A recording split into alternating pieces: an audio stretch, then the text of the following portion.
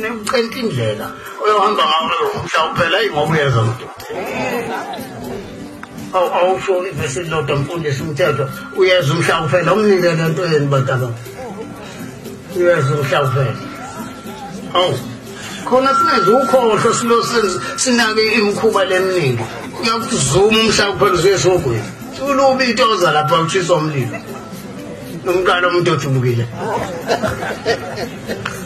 Hlulwa yinasi isiziba sikamaminzela uhluleka ukukholwa kusebusweni bakho. Ufuna ukulwa khona la esontweni? Abanye bampintsheka ekukhoneni uwe yini? Ufunani kanti wena?